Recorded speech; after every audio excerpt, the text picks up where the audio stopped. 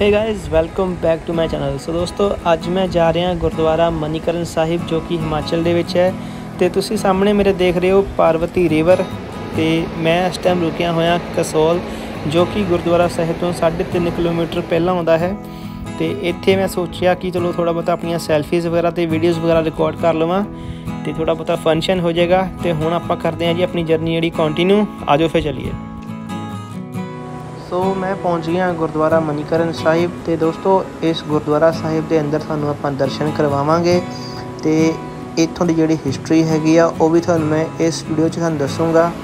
ਤੇ ਇਸ ਗੁਰਦੁਆਰਾ ਸਾਹਿਬ ਦੇ ਅੰਦਰ ਇੱਕ ਮੰਦਿਰ ਵੀ ਬਣਿਆ ਹੋਇਆ ਆ ਉਸ ਦਾ ਵੀ ਇਤਿਹਾਸ ਹੈਗਾ ਆ ਤੇ ਉਹ ਵੀ ਤੁਹਾਨੂੰ ਮੈਂ ਇਸ ਵੀਡੀਓ 'ਚ ਤੁਹਾਨੂੰ ਡਿਟੇਲ ਦੇ ਵਿੱਚ ਦੱਸੂਗਾ ਤੇ ਇਧਰਲੇ ਪਾਸੇ ਤੁਸੀਂ ਸਾਹਮਣੇ ਦੇਖ ਰਹੇ ਹੋ ਇਹ ਹੈ ਪਾਰਵਤੀ ਰਿਵਰ ਹੁਣ ਮੈਂ ਚੱਲਿਆ ਗੁਰਦੁਆਰਾ ਸਾਹਿਬ ਦੇ ਅੰਦਰ ਤੇ ਆਜੋ ਫੇ ਚੱਲੀਏ ਜੀ।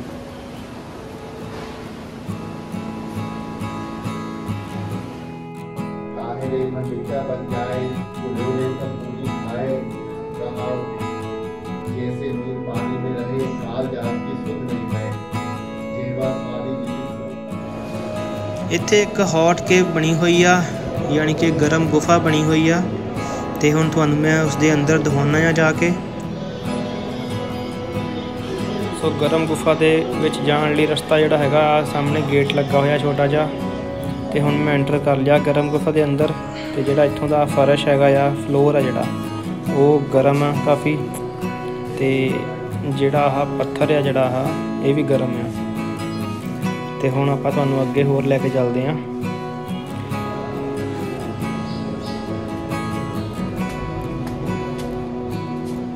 ਹੁਣ ਮੈਂ ਚੱਲਿਆ ਗੁਫਾ ਤੋਂ ਬਾਹਰ ਤੇ ਇਸ ਤੋਂ ਬਾਅਦ ਤੁਹਾਨੂੰ ਮੈਂ ਇੱਥੇ ਜਿਹੜਾ ਸਰੋਵਰ ਬਣਿਆ ਹੋਇਆ, ਉਹ ਦਿਖਾਉਣਾ ਆ। ਆਜੋ ਫਿਰ। ਸੋ ਇਹ ਹੈ ਸਰੋਵਰ, ਜਿੱਥੇ ਤੁਸੀਂ ਇਸ਼ਨਾਨ ਕਰ ਸਕਦੇ ਹੋ। ਲੈਫਟ ਸਾਈਡ ਤਾਂ ਬਣਿਆ ਹੋਇਆ ਲੇਡੀਜ਼ ਵਾਸਤੇ ਤੇ ਰਾਈਟ ਸਾਈਡ ਜੈਂਟਸ ਇਸ਼ਨਾਨ ਕਰ ਸਕਦੇ ਇੱਥੇ। ਸੋ ਹੁਣ ਮੈਂ ਮੰਦਰ ਵਾਲੀ ਸਾਈਡ ਆ ਗਿਆ ਆ ਤੇ ਦੀਵਾਰ ਤੇ ਤੁਸੀਂ ਦੇਖ ਸਕਦੇ ਹੋ ਕਾਫੀ ਸੋਹਣੀਆਂ ਮੂਰਤੀਆਂ ਬਣਾਈਆਂ ਹੋਈਆਂ ਨੇ। ਤੇ ਹੁਣ ਆਪਾਂ ਚੱਲਦੇ ਹਾਂ ਜੀ ਮੰਦਰ ਦੇ ਅੰਦਰ।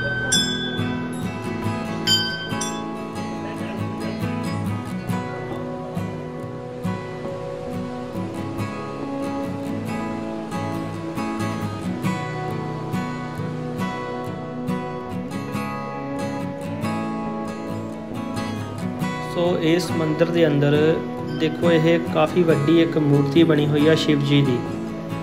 ਤੇ ਇਸ ਦੇ ਬਿਲਕੁਲ ਮੋਹਰੇ ਤੁਸੀਂ ਚੈੱਕ ਕਰ ਸਕਦੇ ਹੋ ਕਿ ਇੱਥੇ ਉਬਲਦਾ ਹੋਇਆ ਰਿੱਝਦਾ ਪਾਣੀ ਆ। ਤੇ ਇਸ ਪਾਣੀ ਦੇ ਵਿੱਚ ਆਲੂ ਵੀ ਉਬਾਲੇ ਜਾਂਦੇ ਨੇ। ਸੋ, ਸਾਹਮਣੇ ਘੜੇ ਰੱਖੇ ਹੋਏ ਗਰਮ ਪਾਣੀ ਦੇ ਵਿੱਚ, ਇਹਨਾਂ ਘੜਿਆਂ ਦੇ ਵਿੱਚ ਚੌਲ ਉਬਾਲੇ ਜਾਂਦੇ ਨੇ। ਤੇ ਇੱਥੇ 20 ਰੁਪਏ ਦੀ ਇੱਕ ਪੋਟਲੀ ਮਿਲਦੀ ਆ, ਜਿਨ੍ਹਾਂ ਦੇ ਵਿੱਚ ਚੌਲ ਹੁੰਦੇ ਆ ਜਾਂ ਛੋਲੇ ਹੁੰਦੇ ਆ। ਤੇ ਉਹਨਾਂ ਨੂੰ ਸਿਰਫ 10 ਕੁ ਮਿੰਟ ਲੱਗਦੇ ਆ ਤੇ ਉਹ ਤਿਆਰ ਹੋ ਜਾਂਦੇ ਨੇ ਖਾਣ ਵਾਸਤੇ ਤੇ ਤੁਸੀਂ ਇਹਨਾਂ ਨੂੰ ਆਪਣੇ ਘਰ ਲਿਜਾ ਸਕਦੇ ਹੋ।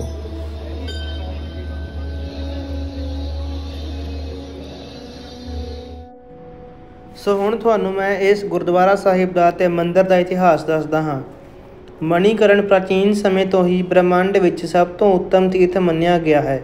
ਬ੍ਰਹਮੰਡ ਪੁਰਾਣ ਵਿੱਚ ਵੇਦ ਨੇ ਇਸ ਦਾ ਨਾਮ ਹਰੀ ਹਰ ਆਖਿਆ ਹੈ। ਇਸ ਦਾ ਦੂਸਰਾ ਨਾਮ ਅਰਧਨਾਰੀਸ਼ਵਰ ਤੇ ਤੀਸਰਾ ਚਿੰਤਾਮਣੀ ਹੈ। ਇੱਥੇ ਭਗਵਾਨ ਸ਼ੰਕਰ ਜੀ ਨੇ ਮਾਤਾ ਪਾਰਵਤੀ ਸਮੇਤ 11000 ਸਾਲ ਤਪ ਕੀਤਾ। ਇੱਕ ਦਿਨ ਜਲ ਕ੍ਰੀੜਾ ਕਰਦਿਆਂ ਮਾਤਾ ਪਾਰਵਤੀ ਜੀ ਦੀ ਚਿੰਤਾਮਣੀ ਡਿੱਗ ਗਈ, ਜੋ ਸਿੱਧੀ ਪਤਾਲ ਲੋਕ ਵਿੱਚ ਸ਼ੇਸ਼ਨਾ ਕੋਲ ਪਹੁੰਚ ਗਈ। ਇਸ ਦੇ ਅਧਿਕਾਰੀ ਜਾਂ ਤਾਂ ਸ਼ੰਕਰ ਜੀ ਸਨ ਜਾਂ ਤਾਂ ਸ਼ੇਸ਼ਨਾਗ ਸ਼ੰਕਰ ਜੀ ਨੇ ਆਪਣੇ ਗਣਾਂ ਨੂੰ ਮਣੀ ਤਲਾਸ਼ ਕਰਨ ਲਈ ਭੇਜਿਆ, ਪਰ ਮਣੀ ਨਾ ਮਿਲੀ। ਸ਼ੰਕਰ ਜੀ ਗੁੱਸੇ ਵਿੱਚ ਆ ਕੇ ਤੀਸਰਾ ਨੇਤਰ ਖੋਲਣ ਲੱਗੇ ਤਾਂ ਸਾਰੀ ਧਰਤੀ ਕੰਬ ਗਈ। ਤਦ ਸ਼੍ਰੀ ਸ਼ੰਕਰ ਜੀ ਤੇ ਨੇਤਰਾਂ ਵਿੱਚੋਂ ਨੈਣਾ ਦੇਵੀ ਪ੍ਰਗਟ ਹੋਈ। ਮਣੀਕਰਨ ਨੈਣਾ ਦੇਵੀ ਦਾ ਜਨਮ ਸਥਾਨ ਹੈ। ਨੈਣਾ ਦੇਵੀ ਨੇ ਸ਼ੇਸ਼ਨਾਗ ਨੂੰ ਮਣੀ ਵਾਪਸ ਕਰਨ ਲਈ ਕਿਹਾ। ਸ਼ੇਸ਼ਨਾਗ ਨੇ ਫੁੰਕਾਰੇ ਰਾਹੀਂ ਮਣੀ ਭੇਟਾ ਕਰ ਦਿੱਤੀ। ਇਸ ਲਈ ਇਸ ਸਥਾਨ ਦਾ ਨਾਮ ਮਣੀਕਰਨ ਪੈ ਗਿਆ। ਸ਼ੇਸ਼ਨਾਗ ਨੇ ਸ਼ੰਕਰ ਜੀ ਨੂੰ ਖੁਸ਼ ਕਰਨ ਲਈ ਅਨੇਕਾਂ ਮਣੀਆਂ ਭਿਜਵਾਉਣੀਆਂ ਸ਼ੁਰੂ ਕਰ ਦਿੱਤੀਆਂ। ਸ਼ੰਕਰ ਜੀ ਨੇ ਮਾਤਾ ਪਾਰਵਤੀ ਜੀ ਨੂੰ ਆਪਣੀ ਮਣੀ ਪਹਿਚਾਨਣ ਲਈ ਕਿਹਾ। ਬਾਕੀ ਮਣੀਆਂ ਨੂੰ ਪੱਥਰ ਰੂਪ ਰਹਿਣ ਦਾ ਸ਼ਰਾਪ ਦਿੱਤਾ ਤਾਂ ਕਿ ਕਲਯੁਗ ਵਿੱਚ ਆ ਕੇ ਲੋਕ ਝਗੜੇ ਨਾ ਕਰਨ। ਮਣੀਕਰਨ ਦਾ ਸਾਰਾ ਇਲਾਕਾ ਗਰਮ ਹੈ। ਕਲਯੁਗ ਵਿੱਚ ਸ੍ਰੀ ਗੁਰੂ ਨਾਨਕ ਦੇਵ ਜੀ ਨੇ ਅਵਤਾਰ ਧਾਰਿਆ।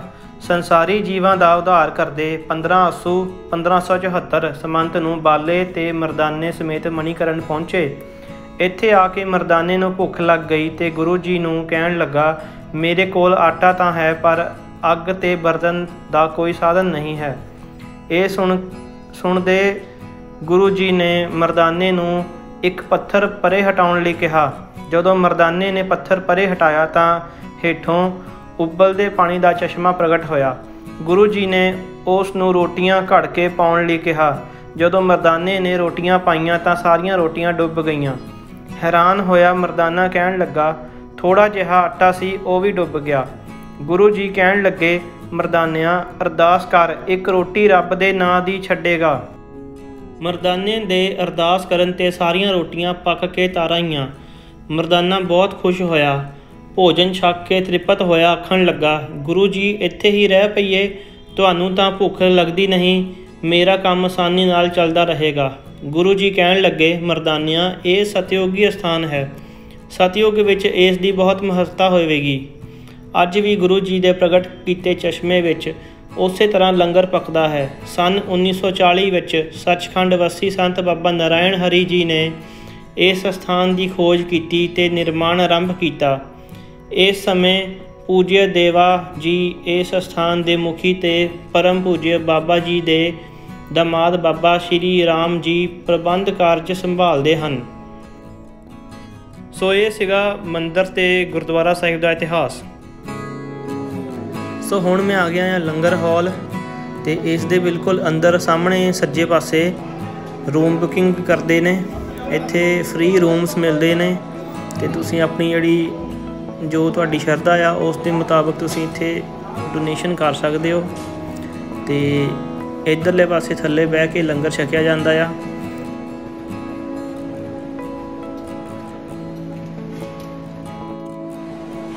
ਤੇ ਇੱਥੇ ਲੰਗਰ ਹਾਲ ਦੇ ਅੰਦਰ ਹੀ ਗਰਮ ਚਾਹ ਵੀ ਮਿਲਦੀ ਆ। ਸੋ ਦੋਸਤੋ, ਇਹ ਸੀਗਾ ਗੁਰਦੁਆਰਾ ਮਨੀਕਰਨ ਸਾਹਿਬ ਤੇ ਆਈ ਹੋਪ ਕਿ ਤੁਹਾਨੂੰ ਕਾਫੀ ਵਧੀਆ ਲੱਗੀ ਹੋਗੀ ਇਹ ਵੀਡੀਓ ਅਤੇ ਜੇ ਤੁਹਾਡੇ ਮਨ 'ਚ ਕੋਈ ਕੁਸ਼ਚਨ ਹੈਗਾ ਆ ਜਾਂ ਤੁਸੀਂ ਮੈਨੂੰ ਕੁਝ ਸੁਜੈਸਟ ਕਰਨਾ ਚਾਹੁੰਦੇ ਆ, ਤਾਂ ਤੁਸੀਂ ਮੈਨੂੰ ਕਮੈਂਟ ਵਿੱਚ ਲਿਖ ਸਕਦੇ ਹੋ ਅਤੇ ਮਿਲਦੇ ਹਾਂ ਜੀ ਇੱਕ ਹੋਰ ਵਧੀਆ ਜੀ ਲੋਕੇਸ਼ਨ ਤੇ। Till then take care bye bye